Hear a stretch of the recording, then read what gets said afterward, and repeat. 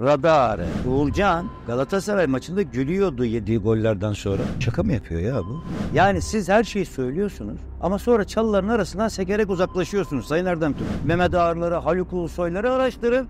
Hadi Denizli'den ötesi rezalet ya skandal. Daha ne olsun? Kendi ağzıyla itiraf etti. UEFA başkanı gelmiş. Oya o zaman Yusuf Kön'e gönder. Ha doğru.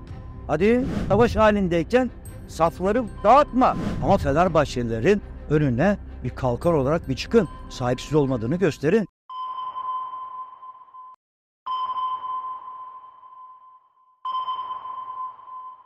Ferdi abi radara hoş geldin. Radare. Ramazan tarzı mı? Ömrünü evde unuttuk ya. Orucu açınca abi yarın beyni oluyor diyor bana. Benden şapkayı da aldın. Kuyuda aldık. Tarz oldu. Yalnız benim kafam küçüktür. Benim kafa senden küçük. Bakma. Hakikaten mi? Moy, moy var ama gerisi hikaye. Hoş geldin abi. Hoş bulduk. Tekrar. Yoğun bir gündem. Değişik olsun bu sefer de kusura bakmasınlar. Gömlek giyemedik. Haklarını helal etsin insanlar ama. Bence Hakikaten evde astım şak diye koydum. Almayı unuttum arabaya. e olur bak. Öyle geldik. Öyle de. E, daha yeni orucu açtım bu arada. Var ya gidiyorum. Allah.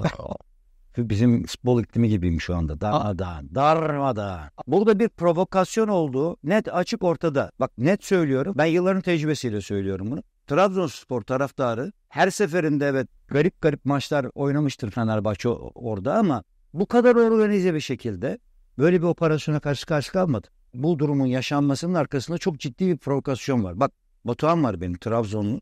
Trabzon hasta Trabzon'da bir günde Fener Trabzonspor'da yönetim kurulunda yer alacak. Belki de başkanlığa falan da oynayacak kardeşimiz. O bile aynı düşünce içerisinde. Abi diyor bu kadar olmaz.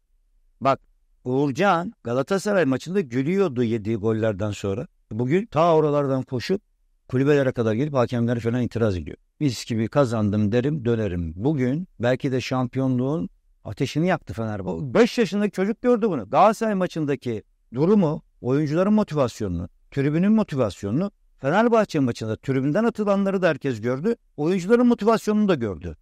Viska'nın Miska'nın yaptıklarını görmüyor musunuz? Yani şimdi en güzel tarafı Fenerbahçe şunu gösterdi. Sayın Ali Koç'un dile getirmeye çalıştığı şey Fenerbahçe'yi şampiyon yapacaklar. Aslında orada söylemesi gereken oydu. Ben olduğum sürece Fenerbahçe'yi değil. Fenerbahçe hiçbir zaman şampiyon yapmak için kimse elinden tutmaz, yardım dokunmaz. Hep Fenerbahçe kendi gücüyle olmuş. Örneğin mesela A Spor'da tanır mısın bilmiyorum. Ender Bilgin kavga çıkmasının sebebi Fenerbahçeli oyuncuların maç sonu orta sahada kutlama yapması. Ne yapacak diye? Ne yapacak? Ya ne?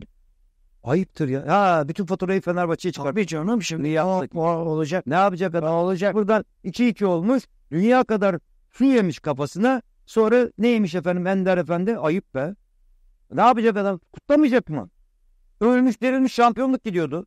Kötü de bir şey yapmıyor. Tribüne dönüp de bir şey yapmıyor. Ve sen kulüp, sen, kulüp, sen güvenliği de sağlayacaksın. Kulüp sen sağlayacaksın güvenliği de. Ya bırak. Bu fut- futbol iklimi tamamıyla Fenerbahçe'ye karşı bir iklim.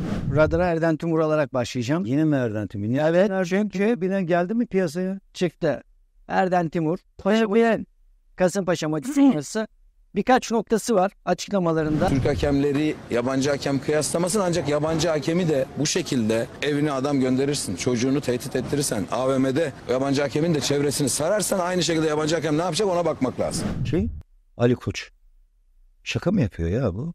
Ne içiyorlar ya? Ya son 3-4 şampiyonluğuna baktığımızda Galatasaray'ın neler olduğunu ya kundaktaki çocuk neredeyse konuşarak söyleyecek ya. Yapmasınlar Allah aşkına bunları ya. Çok kısa bir özetle geçen senenin Erdem Timur'un söylediklerinden başlarsak offside'ımsılardan çıkarsak bir önceki şampiyonlukta rahmetli Mustafa Cengiz'in olduğu dönemde Abdullah Avcı bana anlattı ya biz maçı şöyle çalıştık dedi. Şunu şunu yapacağız diye çalıştık. Golümüzü attık, onu yaptık, bunu yaptık. Hepsi bizim plan da- dahilindeydi. Ama biz Galatasaray kulübesinin ne çalıştığını anlayamadık dedi. Hatta sen kulübe mevzusunu anlattın. Basın toplantısında da rahmetli Mustafa Cengiz'e bu soruyu sordun. O kulübeye dikkat etmek lazım demiş Abdullah Avcı. Şöyle oldu. Maçtan bir hafta önce, o maçtan bir hafta Evet. önce Abdullah Avcı çıktı basın toplantısında dedi ki Galatasaray stadındaki maçta yedek kulübelerine dikkat etmek lazım. Çünkü hakemlere oradan bir anlamda operasyon yapılacak gibi bir anlama gelen bir açıklama yaptı. O hafta içerisinde o zaman başkan rahmetli Mustafa Cengiz de ben de basın toplantısına gittim. Dedim ki Sayın Başkan Başakşehir böyle diyor ne diyorsunuz diye. Ya dedi olur mu böyle şey burada kim ne yaşamış falan filan. En son maçta yaşananlar Ama Hatta Abdullah Avcı ne dedi o basın toplantısından sonra? Burada gol atmak hakikaten çok zor. Gol attığın zaman kulübene saldırı oluyor. Bir teknik adam golden sonra kulübeye saldıracak. Çete halinde. Yumruk atacak. Hakaret edecek. Telaffuz edemiyorum. Sonra dördüncü hakem bunu göremeyecek. Görmemiş olabilir. Sonra bir daha gelecek. Hem de eski çalıştığı oyuncusuna. Hem hakaret yapacak hem yumruk atacak. Sonra kulübenin arkasına kaçacak. Delikanlı adam devam eder. Sonra ben de konuştum Abdullah Hoca ile. O maça gidersek Başakşehir'den aldıkları şampiyonluk için Abdullah Hoca bizden şampiyonluğu çaldılar dedi. Bir kere iki kere iki dört. O baskıyı uygulayarak biz dedi her şeyi çalışmıştık. Bak bana söyledikleri bu. Biz her şeyi çalıştık. Maçı iyi etüt ettik. Rakibimizin Galatasaray'ın neler yapabileceğini şunu bunu anlattık. Takımımız da bunu iyi uyguladı. Ama biz onların ne çalıştığını kafamızda hayal edemedik dedi.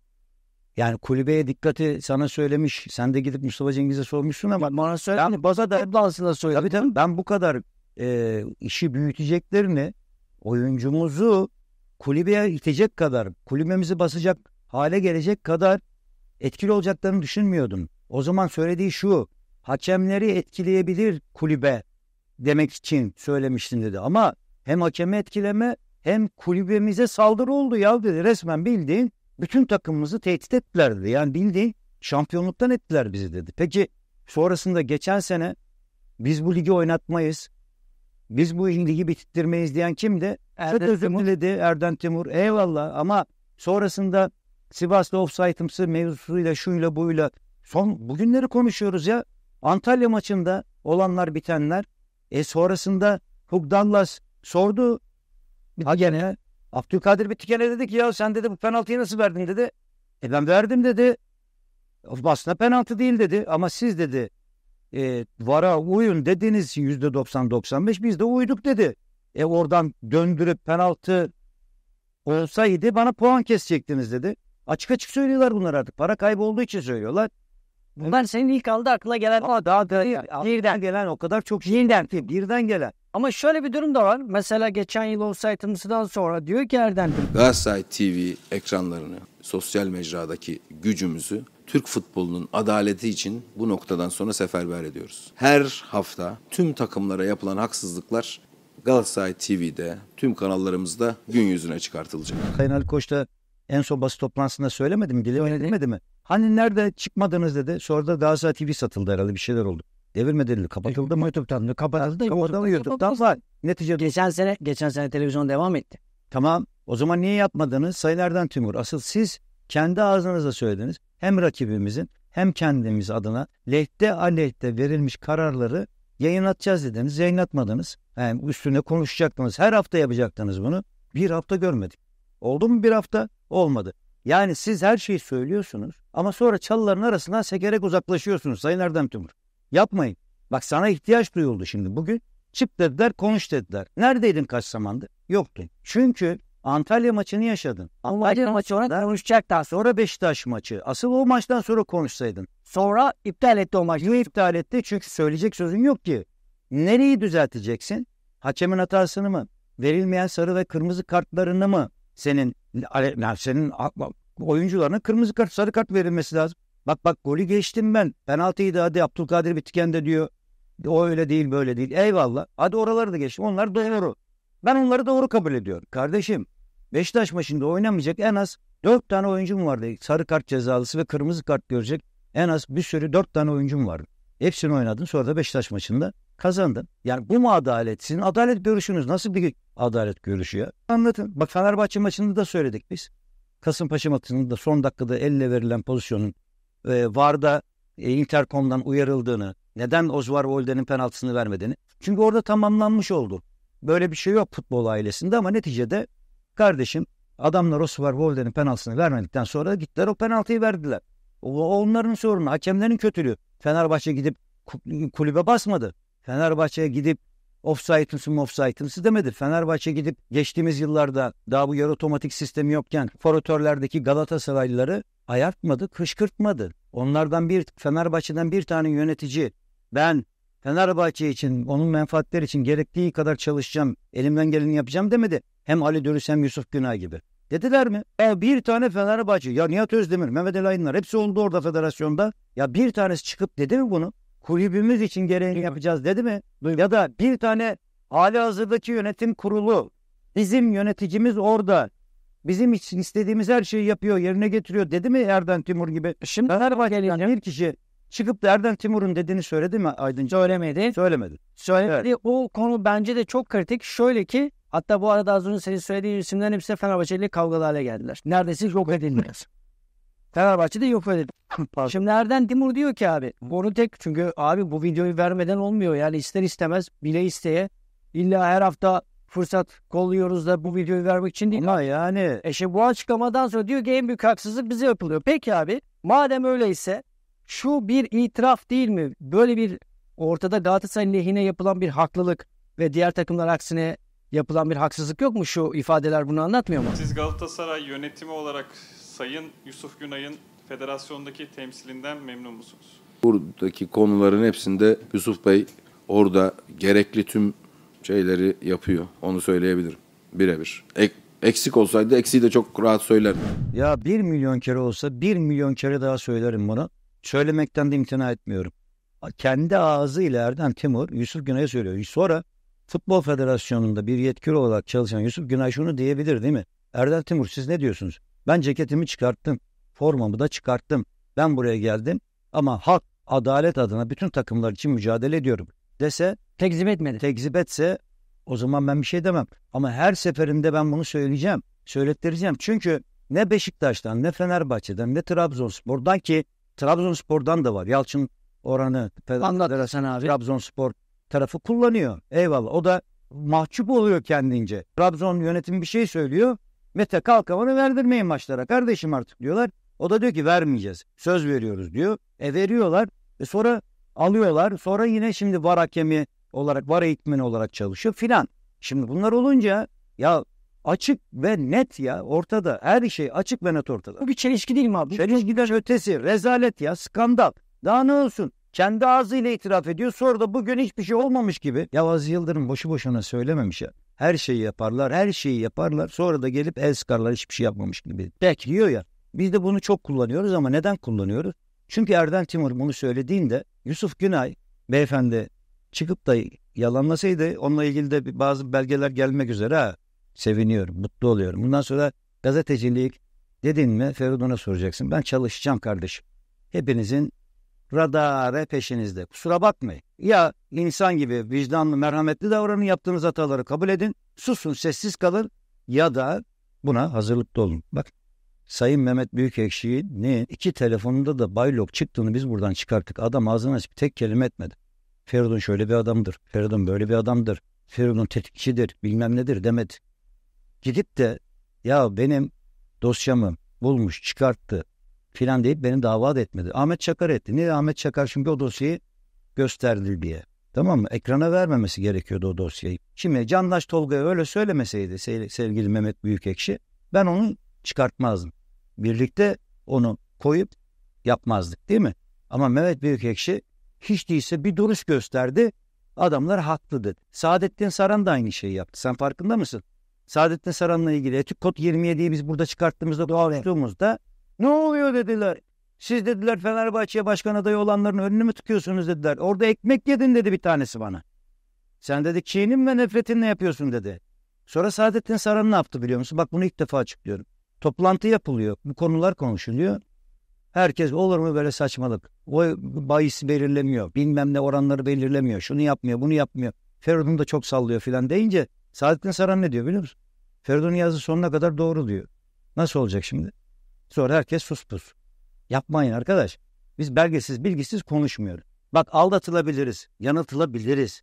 Üzerine bir parça daha koydurtabilirler bazı haber kaynaklarımız. Biz onları bile eliyoruz. Birçok şeyi de söylemiyoruz. Ama bak iki kere iki dört. Sen bunları yaparken o ondan sonra çıkacaksın diyeceksin ki 20 yıl 10 yıl araştırılsın. Ya Az Yıldırım 20 yıl araştırılsın dediğinde neredeydiniz? 20 yıl araştırın dedi Az Yıldırım. 30 yıl araştırın dedi. Hadi 86'dan bu yana kadar araştırın. Mehmet Ağarları, Haluk Ulusoyları araştırın. Hadi neden araştırttırmıyorsunuz? Ya bari susun. Yaptığınız hataları üstünü örtmek için tekrardan böyle çıkmayın ortaya ya. Yani yapmayın arkadaş. Yani bu hiç kabul ediliyor. Futbol hiçbir şekilde ileri gitmez bu mantıkta bu şey. Bak muazzam maç oldu Galatasaray Kasımpaşa maçı. Ben de çok beğendim. Şey ne oldu? Kasımpaşalı oyuncular bence maçta tecrübesizliklerini yenildiler, acemiliklerini yenildiler. Anladın mı? Öndeyken geri düştüler, hata yaptılar, paslarda hata, geri dönüşlerde hatalar şudur budur. Orada o pozisyonda belki ellemese vuracak, dağlara taşlara gidecek bilemezsin değil mi? Penaltı pozisyonundan bahsediyorum. Penaltı pozisyonda yani penaltı mı penaltı kardeşim kırmızı mı kırmızı. Ama maçın sonrasında da böyle açıklamalar yapmakla hiç kabul edilir değil Erden'cim. Dallas'ı radara alıyor. Ha, bu Hugh Douglas e, eğitim dairesinin başkanı, eğitim danışmanı. Evet. Bu işi ne kadar sahiplenip sahiplenmediği ile ilgili endişeler var. Sonrasında bir iki tane böyle Zoom toplantısı yapıp Zoom toplantısına fırça kayıp gerilip sinirlenip bilmem ne. E se- ya sevgili Hugh Douglas sen hakemlerin içinde çok ciddi sana karşı bir tavır var. Sen hiç bunlara sahip çıkmıyorsun. Bunları anlatmıyorsun. Bak bana atılan mesajlar var. MHK ve TFF'den kimlerle görüşüp e, alıp fikir alışverişi yaptığını bir açıklasın bakalım. Kimseyle görüşmüyor. Sen böylesine bir maaş alan iyi insan oldun. Hiç değilse Ulenberg bir şeylerin içindeydi. Bir şeyler öğretiyordu, bir şeyleri soruyordu, soruşturuyordu. E sonrasında e, hakemlerden duyduğum adamlar diyor ki eğitimlerinden e, çok ciddi rahatsızız diyorlar. Yani şu aman aman e- eğitim vermiyor. Adamına göre muamele yapıyorlar.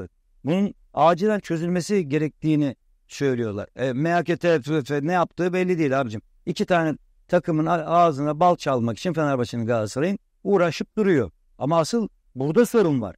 En önemli konu bu.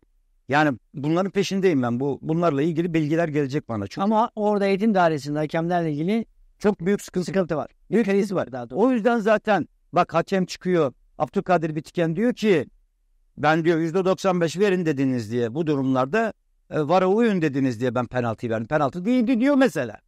Şimdi ya bunlar olunca Ulenberg e, bu tarafta bambaşka bir şeyler yapıyordu. Hugh Douglas'ta inanılmaz bir şikayet var. Şimdi Hugh Douglas bir de hakemlere fırça atıyor, hakaret ediyor. E bu adamları nasıl yetişeceksin, nasıl yetişeceksin? Onlar da senden rahatsız. Attıkları mesajlar var bana. Bunun acilen çözülmesi lazım diyenler var. Hakemlerden birçoğu bu konuda eğitimlerinden çok ciddi rahatsız olduğunu söyleyenler var. Şimdi ben bazen bu notlarımın arasından isimleri kaçırırsam panik yapma sil onları. Hakikaten ciddi söylüyorum bak. Bu da büyük problem. Yani ligin boyu kısaldı. Şunun şurasında kaç tane maç kaldı?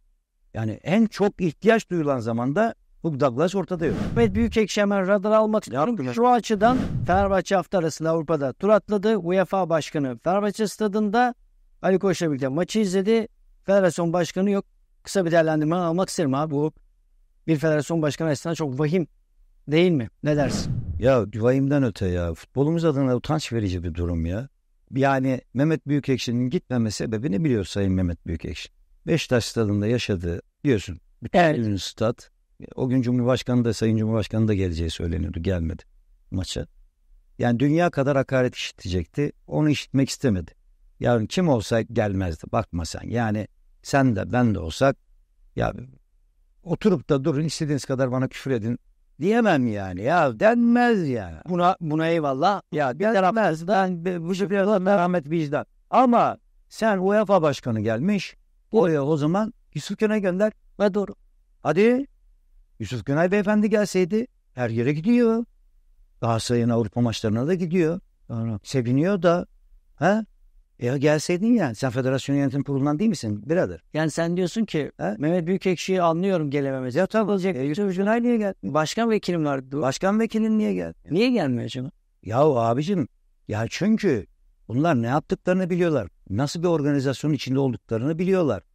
Yani bakma bence benim son duyduğum şeylerin içinde de Mehmet Büyükekşi bile çok ciddi fanatikliğini bir tarafa bırakmış. Ya birinizden biriniz gidin ya. Doğru. Yani sen tamam şeyde UEFA'da e, Ali Sayın Ali Koç'un da var.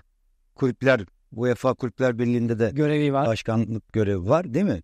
O abi burada da Ama sen diyorsun ki yani Türkiye Futbol Federasyonu'nun temsil noktasında orada birisinin olması lazım. Birinci başkan yok Mehmet Büyükekşi eyvallah. Bak anlarım o kadar küfürü yemek istemeyebilir. Ama yardımcın ikinci başkanın neyse artık kim varsa birini gönderip oturturdun orada katılaktırdın. Tamam mı? Katılıyorum. Günay'ı gönderirdin. Niye gidemiyorsunuz Günay beyefendi? Gidemezsiniz işte. Çünkü siz adil değilsiniz. Adaletli iş değilsiniz. Tamam mı? Gidemezsiniz. Radar'a şimdi bir Sami Uğurlu'yu alacağım. İyi oynuyorsun, iyi oynadığın için suçlanmak gerçekten e, bir tek Türkiye'de olur herhalde. Rakibin sana e, tepki gösteriyor. İyi oynayıp mücadele ettiğin zaman. Neden? Neden bu kadar mücadele ediyorsunuz? Neden bu kadar koşuyorsunuz? Şampiyon mu olacaksınız? Herkesin hedefi var. Bizim de hedefimiz var. Ve bunun peşinden gidiyoruz. Herkese karşı iyi oynamaya çalışıyoruz. Ve buna da devam edeceğiz. Bu toplantısında sorduk kim diye. Tamam. Ben de Söylemediyse. genel olarak söylüyorum bütün statlarda oluyor. Bak Sami Hoca bunu söylemek kim olduğunu söylemedi ki. Sorduk. O ayrı kortlarını ayıralım futbolun içinden temizleyelim ya da iki üç cümle söyleyelim biraz utansınlar bunlar. Tamam, Sami Hocam. Ama ne var? Bak Sami Hocamın isyanına eyvallah diyorum. Fakat ve fakat Fenerbahçe şampiyonluğa oynarken, Beşiktaş şampiyonluğa oynarken mesela o sene 2010-2011 sezonunda Karabük'te bir kaleci ta Fenerbahçe ceza sahasına kadar gelmişti. Değil mi? Şimdi oluyor. Niye o oralara kadar geldin dendi. Tamam mı? Şampiyonluğa mı oynuyorsun? Ne oluyor falan değil. Söylemler oldu. Bu tip söylemler var. Bak bunlar hep olmuştur futbolumuzun içinde. Kimse kendilerine karşı şampiyonluğa mı oynuyorsun? Ya size ne ya? Ben istediğim gibi oynuyorum. Sana ne? Futbol bu. İşte burada zaten kopuyor iş. O yüzden beyinler ayakla uyuşmuyor. Bunu söyleyebiliyor Samsun Başkanı. Hakem verdiği penaltıyı Hugh Douglas'a diyor ki böyle böyle dediğiniz için %95 vara uyun dediğiniz için vermedim diyor. Çift penaltıyı verdim diyor. Öbür oradan başka bir şey söylüyor. Çünkü akıllar hep karışıyor. Akılları hep karıştırıyorlar Aydın. Yani bu sıkıntılardan dolayı zaten ne hakemler hakemliği doğru yapabiliyor ne oyuncular gittikleri takımlardan farklı takımlara gittiklerinde iyi oynarsan beni eski takımım yuhalar ya da taraftarım bir daha da geri dönemem. Bir umudu var. İşte Türk yapısından kaynaklanan bu içsel, duygusal bir durum. Bundan yırtamadığımız, kurtulamadığımız zaman bu saçma tartışmaları her zaman yaşarız. E baba, ama Avrupa'ya gidiyorsun. Ama Tempolu ama maçlar. ama ne oldu? Fenerbahçe'den son 6 sezonunda Sayın Ali Koç'tan herhangi bir teknik adam, teknik kadrosundan birinden çok teknik adam değişti. Çok oyuncu değişti belki Fenerbahçe'de ama neticede böyle bir şey duydunuz mu? Yok. Hep neden Galatasaray için duyuluyor bunlar?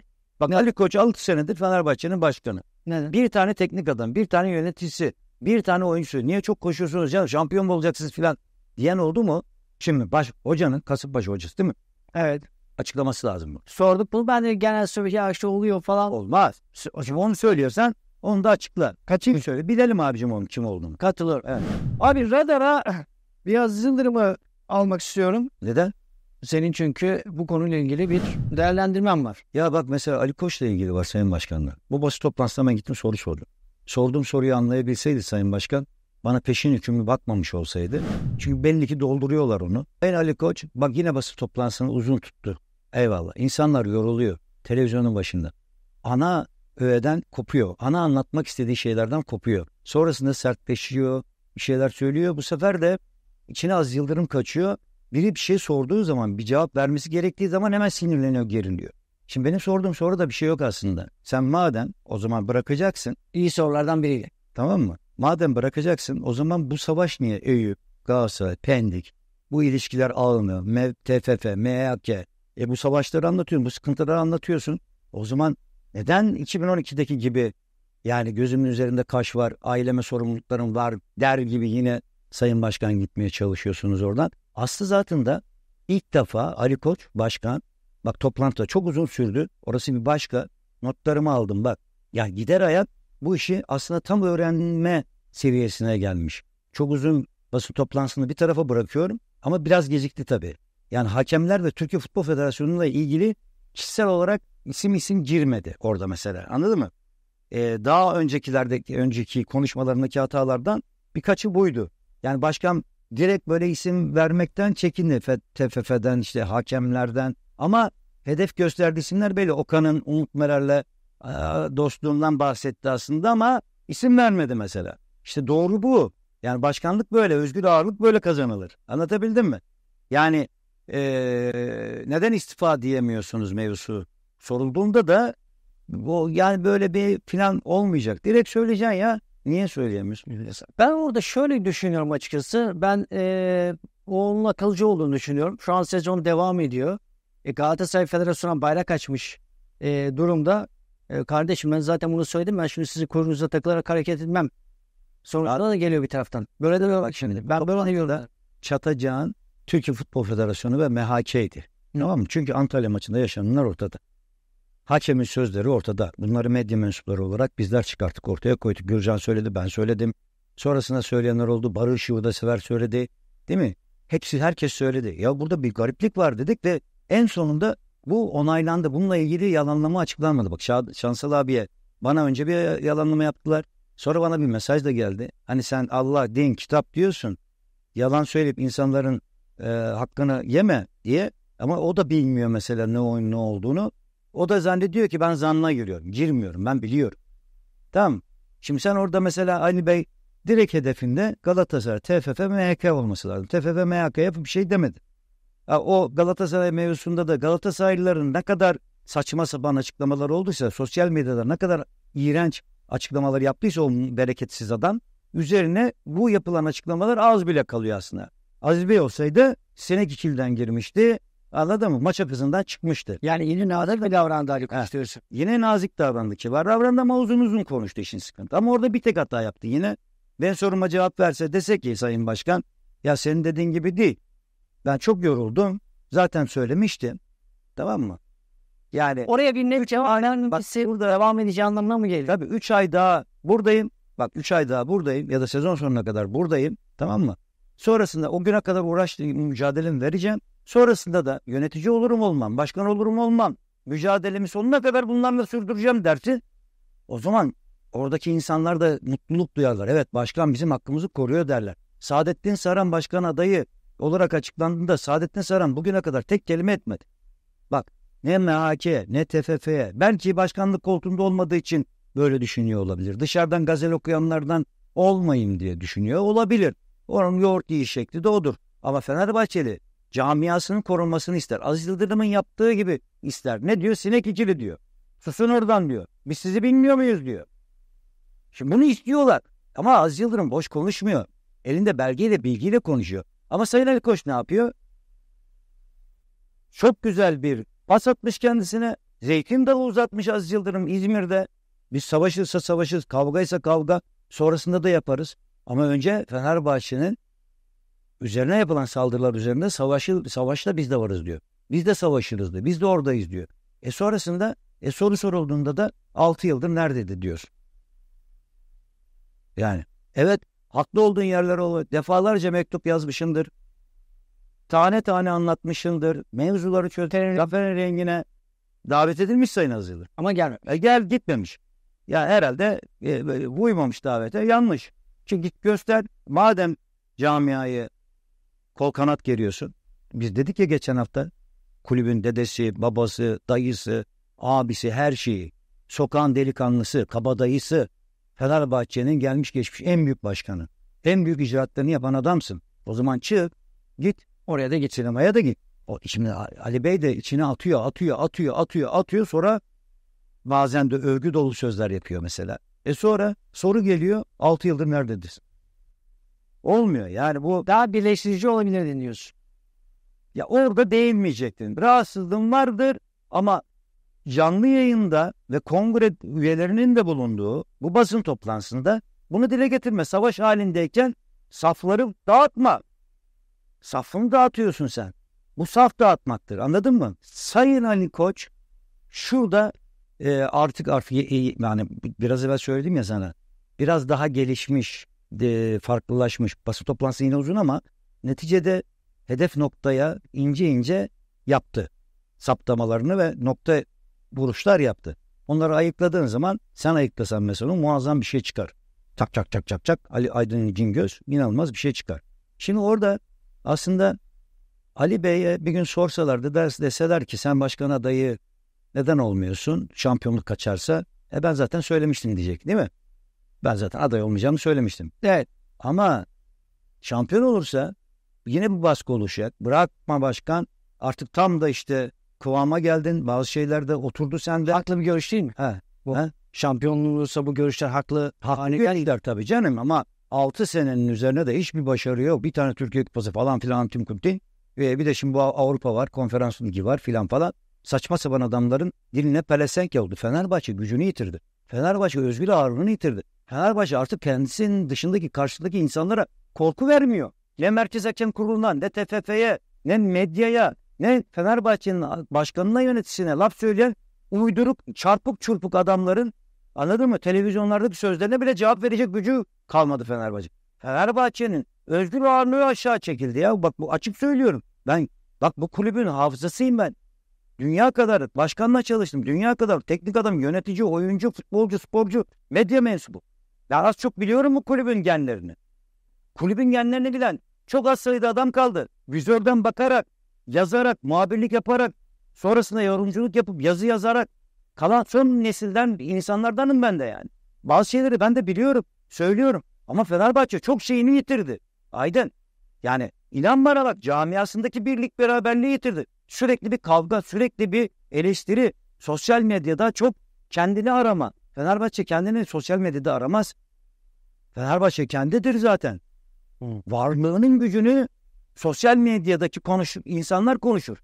Aa Fenerbahçe başkanı bunu yapmış. Aa Fenerbahçe bunu almış. Aa Fenerbahçe şurada şunu da yapmış. Vay anasını filan. O zamanlar söyleniyordu. Vay anasını Aziz Yıldırım nasıl stadı yıktı da bölüm bölüm parça parça o kadar zamanda bitirdi ya. Vay anasını stat yapılırken onun çizim e, e, mimarına para verilmedi. Vay anasını bilmem ne kadar milyon euro diyorlardı o zaman. Ya bunlar konuşuluyordu. Vay anasını derazi testlerinde fareler cirit atıyordu. Şimdi derazi testlerine bak nasıl test o. Vay anasını Samandıra testlerine bak. Avrupa'da birçok takım gıptayla bakıyor filan. Olmayan alet edevat yok teknolojik. Dünya kadar şey var. Şimdi bunlar senin özgür ağırlığını Fenerbahçe'nin gücünü gösterir. Ama sen Fenerbahçe gücünü aşağı çektirttiniz ya. 3-5 tane baldırı çıplak verdiği fikirle buralara geldi Fenerbahçe. Yani Sayın Ali Koç bak Az Yıldırım Başkan, Sayın Başkan o olursa ben olmam, ben olursam o olmaz. Saatli Saran, Ali Koç aday olursa ben olmam. Girin kardeşim, aday olun. Bin oy alın, iki bin oy alın. Allah Allah. Hulusi Belgi çıktı, Şadan Kalkıvan rahmetli çıktı. Doğru. Mehmet Ali Aydınlar, aslanlar gibi çıktı o kadar eleştirildiği halde. Adama FETÖ'cü FETÖ'cü dediler. Ne oldu adam çıktı. Sonuna kadar savaştı. Yöneticine saldırdılar. Kongrede bir şey demedi. Şadan abi çıktı. Beni yakıyorsunuz dedi. Dünya kadar param gitti dedi Şadan abi rahmet. Ben seçilemeyeceğim. Ama girdi adam. Hulusi Belgü girdi. Kaç oy aldı ortada? E ya girin kardeşim o zaman. Sayın Az Yıldırım bu işin adetli saran başkan adaylığını açıkladığında Sayın Az Yıldırım'ın da ben açıklamasını beklerdim. Ben de adayım demesini beklerdim. Yani neyi bekliyorsunuz? Fenerbahçe hepinizin değil mi? Keşke üçünüz kol kola gelseniz oraya. Nefretinizi, kininizi yine sürdürün kardeşim. Problem yok. Sonrasında görüşmeyin. Ama Fenerbahçelilerin önüne bir kalkar olarak bir çıkın. Sahipsiz olmadığını gösterin. Peki. Önce bunu yapın. Yani ben böyle bir seçim dönemi hiç yaşamadım ya. Adaysan adaysındır. Aday değilsen aday değilsindir ya. Ya o olursa ben olmam. E, o olmazsa ben de olmam. O olursa ben olurum. E, sonra başka şeyler duyuyoruz geçici bir yönetim seçileceği, geçici bir geçici bir Fenerbahçe yönetimi kurulacağı, sonrasında Ahmet Ketenci'nin de bulunduğu bir ekiple birlikte başka isimlerin başkan adayı oluyor. Ne oluyor ya? Bu konuşmalara, bu şeylere fırsat mı bırakacak Fenerbahçe'nin bugünkü başkanı, geçmişteki en değerli başkanı? Hı. Olur mu? Yapmayın. Peki. kadar sahipsiz değil Fenerbahçe. Haftaya bakacağız. Ya bu İngiltere mevzusu mesela. Abi görüyorsun. Şimdi sen orada Fenerbahçe tur atlamış. Rakibi Yunan tarafı Onlar ertelemiş. maçları ertelemiş. Ya İngiltere'de Futbol Federasyonu Arsenal'in maçını da ertelemiş. Arsenal Chelsea maçını. Lig maçını ertelemiş. Yani bunlar yapılabiliyor. Ha bir kere ertelendi, bir daha ertelendi, bir daha ertelendi, cıvıkı çıkacak diye Sanil Koç da gık demiyor. Ne yapsın? Ama bunu federasyon diyecek. Kimse istemeden ya arkadaşlar yanlış bir tarihe koyduk. Bunu düşünemedik. Yine beceremedik. Yine hiçbir şey beceremediğimiz gibi bunu da beceremedik. Özür dileriz şu tarihi alıyoruz filan dersin.